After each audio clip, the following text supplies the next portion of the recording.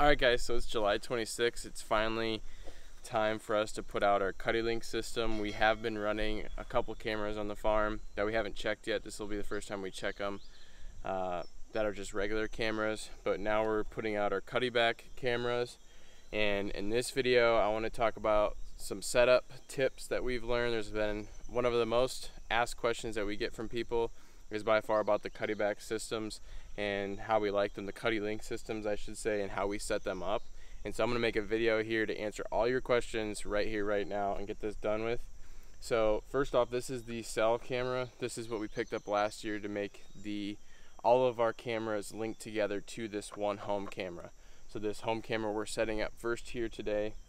Um, so first things first, uh, Cuddeback did come out with a new firmware version, which is actually I think leaps and bounds better. There's uh, you can specify which batteries you have, which means I think that they might have fixed the issue with batteries.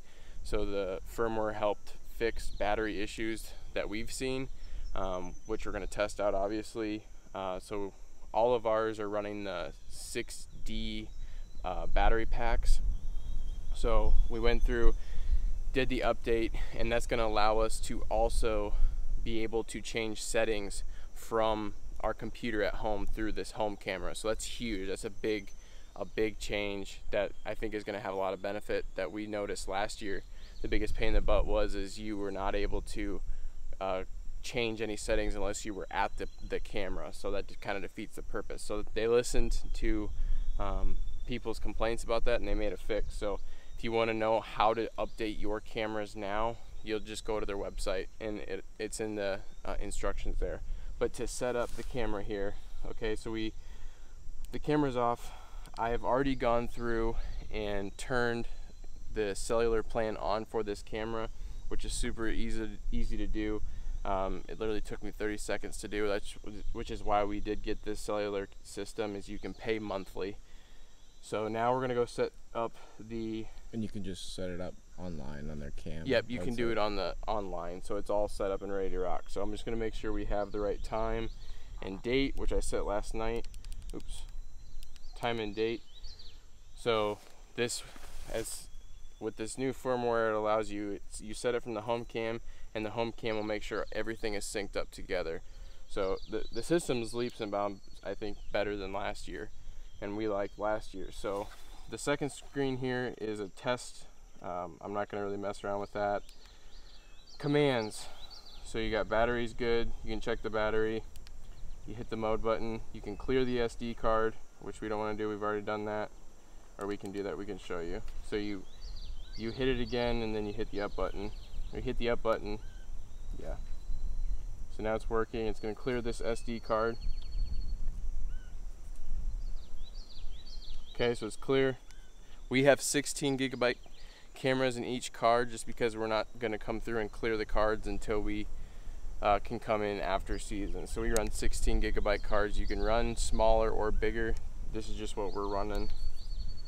The link menu. So this is the menu to the whole CuddeLink system. So all the chain here.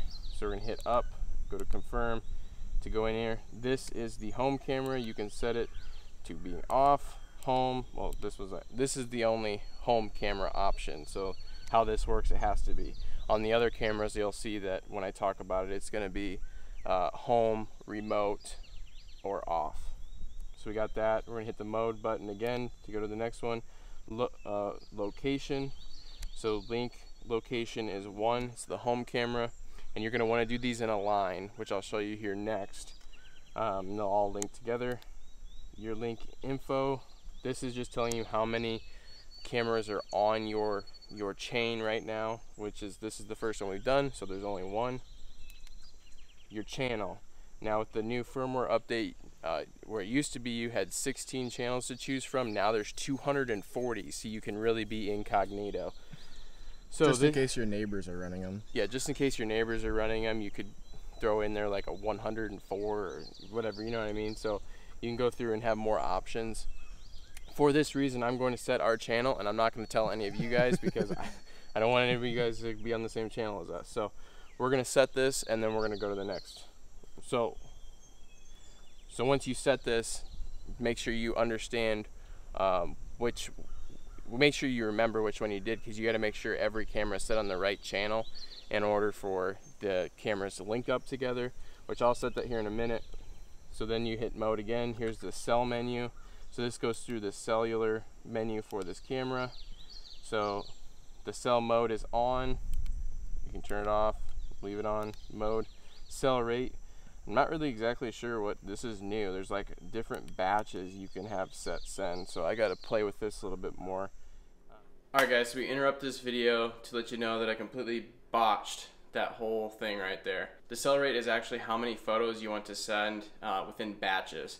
And I got saved by the ability for us to go back through the CuddeLink website and change this setting in order to not get one photo every single time. We were literally getting our emails filled with one photo every single time. So we set it to 30 photos in a batch. You can send it to send all the photos it gets by the hour, um, but we chose to do 30, uh, 30 photos in a batch. Usually we'll get our pictures sent to us usually three to four different times, just depending on you know the movement and the weather. So, so just remember the CC rate means how many times you want the the CuddeLink system to send it the photos to you. So if you don't want, like I had it set on this video, at one, you don't want that. You're to get one photo sent to you all the time, every time it takes a photo, and it's just to be annoying. So the cell test, you can test to see if it works. So we're going to test it, make sure we have signal here, which is a good idea to do.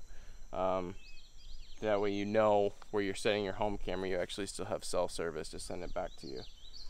So we're going to check. This is going to take a minute.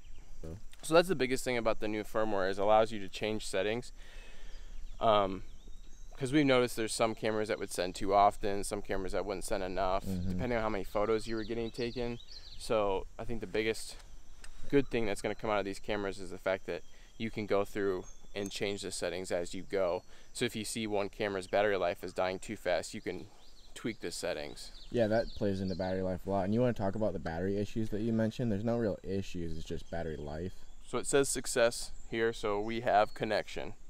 So yeah, so the battery uh, issues that I'm talking about is, at the beginning we had the J series right when they came out. I'm pretty sure it's called the J series, yeah. and they had uh, only AA battery packs at the time that was built in with the camera, and so we were running those, and we learned that if you use if you don't use lithium batteries, you only would we would only get like one to two months at most of battery life, um, and then we switched over to uh, lithium batteries because they would do better in the cold and they would last. I think a couple of the cameras lasted about three months.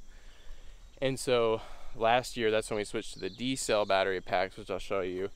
Um, and that's just they're a bigger battery. They have more juice in them, so it just allows you to, in theory, to run run cameras longer without having to change batteries but we actually had to change them after what was it two months three months yeah, right when the first like two and a half months two and a half months and it, better. it could have been it was a lot better it could have been because we had them sending more often too um, so because i've heard a lot of people say that they put the d cell battery packs on and it lasted them for like a long time mm-hmm. so we get That's quite a few pictures on our property too. Right. So. so. and we like to have more pictures sent to us. we also have a lot of cameras too, right. relative to our. So that's another size. thing. We have we're gonna be running 12. We have 13. One of them's kind of weird with batteries, so. Um, we have 13 cameras, so that's partially the issue. Is we send it all to one home camera, so they all send. There's there's a lot to this. If you guys really want to go into depth in this, I could talk about this for hours. So, and Cuddy you, back, you should come on the air yeah, talk not, with us we don't have any affiliate. We just like them, so right. of, we get a lot of questions. We've actually tried to see if they would help do a giveaway for you guys, and I haven't heard back. So, but you'll also talk about how to optimize uh, battery settings when we get to the remote ones, right? Right. So okay, so we've got the the cell linked up here. Now we're gonna hit more again. The cell ID. Oh no, we don't need to know this. So the cell ID, this is what this is what you need to find out in order to set this up for the first time, which I'm not to get into right now. Well, it looks like I have to figure out what the cell ID is. so the cell ID is essentially what you need to know for setting it up the first time. Since I've already done this, I don't need to know my cell ID. So we're to go away. your camera ID. This is what you want to name your camera. We are very elaborate here. So this is camera one. And the good news about the new firmware is I can set this as one and we, we pin it with our onX maps exactly which camera is one, two, to, to a 13. And then now with the new firmware, we can use our computer and type in exactly what we want. So That's pretty cool. that's another good news. So we're just gonna put this cam ID as one for now. You can do whatever you want, but I'm lazy, so you wanna go hit, uh, yikes.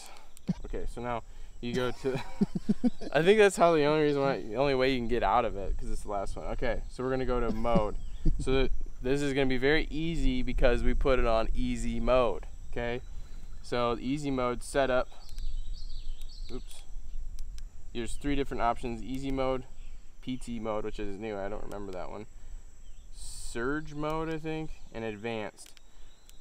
I'm an easy kind of guy. So we go to easy, delay.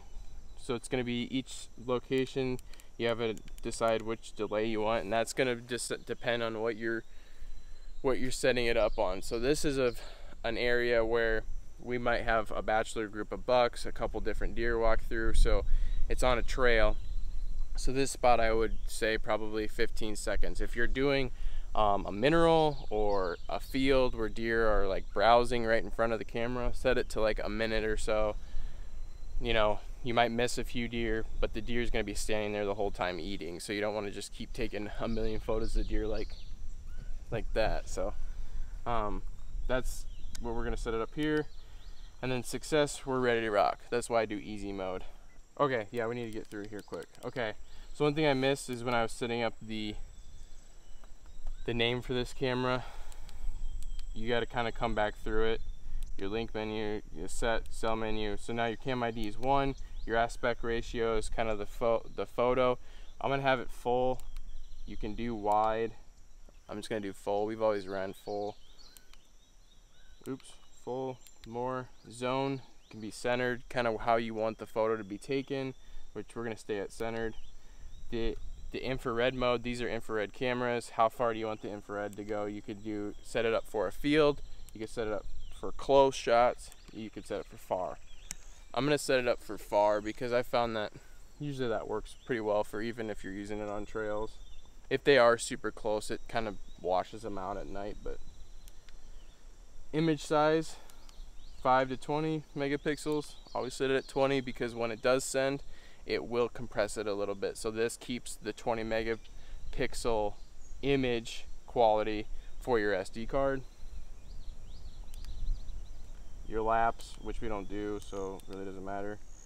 Um, and then your distance, I'm setting it to auto, so it figures out how far the distance of what you are, you're taking a photo of is and kind of compensates for it. And then the stats, just kind of like what your camera, all about your camera. So that's your model, your firmware. This is where you would update the new firmware. Success. So we are all set up. This is 100% how we set up our cameras. Hopefully this makes sense. It's probably going to be pretty long, but from here, after I get this one set up, we've already got this strapped to the tree. We're to get this strapped to the tree, and then I'm going to show you guys here quick how I link every camera together while making it extremely easy. So let's set this up here quick. Um, all right, guys. So we got this one set up. It's off right now for informational purposes, but we get a lot of questions from people on you know how far do these transmit and setting them in with your setup videos. How do you set them up together? So we're gonna cover that here right now, and it's going to be, and the answer is it's situational. So. Um, this spot here, we chose this spot because it's kind of at a high point. So when you put these cameras lower, they don't, they're not going to transmit as far. Um, it's just like a, a cell tower, right? The higher you put it up, the better it's going to be. You can stuck them up, stick them up higher in the tree if you need to. You can do whatever you want. But what I found is the best thing you can do is put them on a ridge and be very strategic where you put them. So that's why we put it here. Uh, we had a camera over there last year that worked probably 40 yards that way. And the sec this camera is going to be set up to go um, down there in a hole. So I'm going to show you guys exactly how you know when you get a camera, your next camera, where how far you can actually go with it. Because it, it varies. The more vegetation that's in the trees, if you have hills, obstructions, um, anything, it's going to kind of uh, knock it back a little bit. Um, if they're on the same level in an open field, they'll transmit for a long ways. So hopefully I covered that all right. What you're gonna do is you're gonna go through and set the settings up exactly like we uh, talked about here. And then I'm gonna show you guys a trick to be able to understand how far you can actually go away um, from each camera to know that you're gonna have a good connection and not sit there and wonder why it's not connecting. Okay, so here's what I was talking about. So you go to our link menu on the, the remote camera and these cameras were set up to either be a home or a remote or you can have a repeater. So essentially what that means is I, I'm pretty sure it just kind of sends mm -hmm. pictures through, which I think is a waste of time. So we're not gonna do that. We're gonna set it to remote. We're go through, we've got it set on remote now. Link location two. You're gonna do this with each camera. Link chain link channel. This is where I set this without you guys seeing. Link count. So this is how many photos. I'm not exactly sure the right definition for this. We've always left it set at the recommended uh, rate that Cuddeback recommends, and that was the 250. So we're gonna leave it there. You can set it to 500 or all. I think it's kind of like how many photos do you want sent over its life. So we're just gonna do this. I'm not sure on the definition. So now you go to the link level. And this is just checking, I set it on the chain here. I set it, I got that camera armed just for the time being. So we'll step away from it. So I'm checking the link level and what this is going to do is I'm right next to the camera. 99. So yep, so it's it's good. So we got 99. So I do this right next to the camera because the further away you go, the more this is gonna drop. And I'll show you guys this once we get down to our next location. But this allows you that very first time you set them up, it's very stressful to know where where's the right spot to put it. I don't know exactly. Do this right by every single camera that you just got done setting up and you're gonna have no issues getting them all linked together because you're gonna know exactly what happens. So we've got that. Now that camera's armed, I need to flip it up and we can we can rock and boogie out of here and that one's ready to go. I'm gonna leave this on and watch this the entire time we're going down the next camera.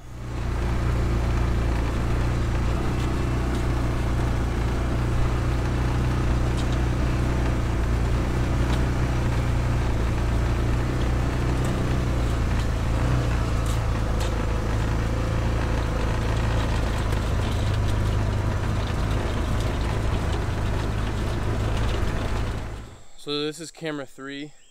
I'm not going to go through every single camera and show you guys everything. That's pretty much all the settings. Um, just make sure you go through and set all the cameras to the right channel.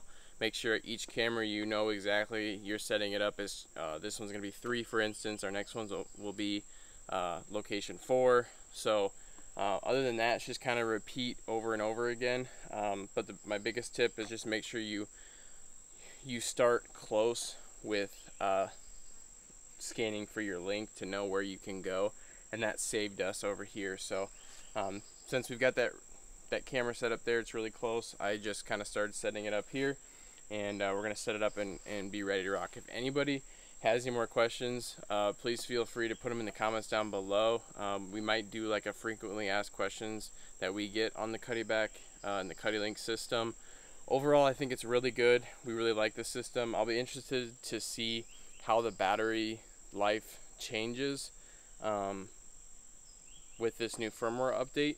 Uh, that's just something we'll have to see. Um, so yeah, if you guys liked the video, if it helped you out in any way, if you if it helped you guys out in any way on setting this up, please make sure you hit that thumbs up button and to subscribe. Let us know if it if it helped you, if it didn't, um, and go from there. So thanks for watching. We'll see you by the next one.